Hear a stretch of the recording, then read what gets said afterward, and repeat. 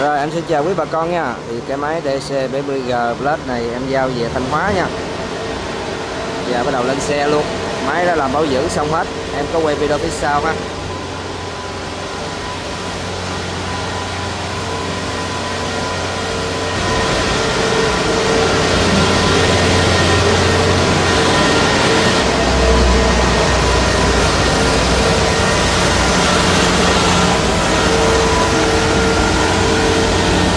Giờ mới lên con Nam Định xong. Giờ lên tiếp con này nha con này cho nó mua nè.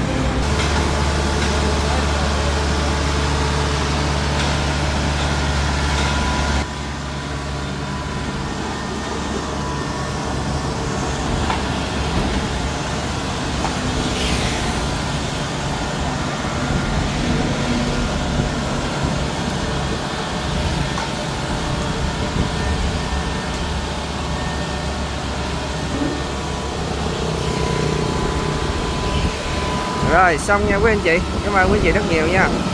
Rồi chào anh em. Hôm nay chiếc DC70G này em giao về cho anh Dương Ở Thanh Hóa nha. Thì uh, chiếc này có số khung mình. 1532 1532.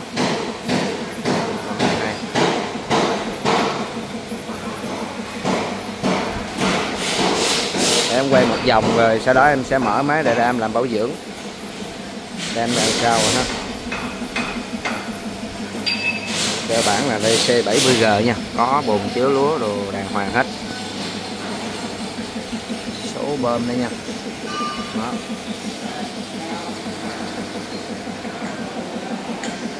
và đây là ngày tiếp theo của máy. Em mới vừa mở hộp số ra kiểm tra thì cái dàn thùng này còn đẹp lắm nha. Đó. Chân đây.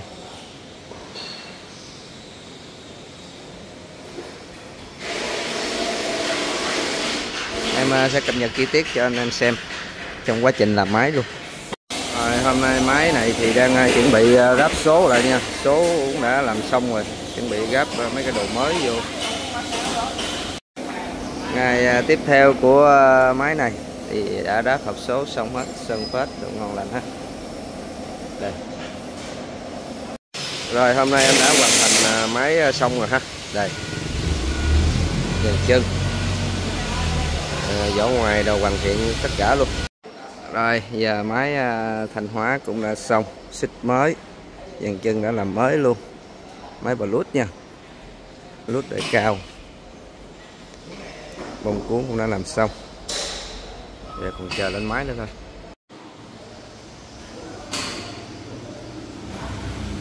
Đây là cái khu vực mà mình để trưng bày máy gặp cho khách xem á. Mình sẽ quay à, tổng quan sơ sơ cho anh em xem ha.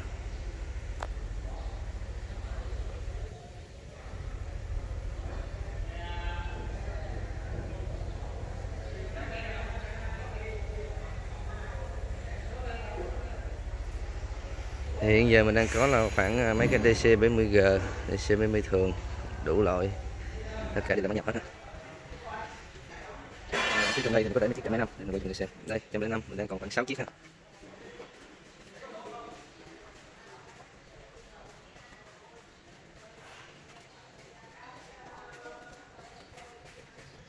Nghe là những cái DC 70G phút đó, máy thái xịn này máy chất nước từ gần về 9 chiếc bây giờ còn 3 chiếc thôi ngừng hết anh em thử sớm. Ở phía trong đây thì mình để máy gì luôn nhé.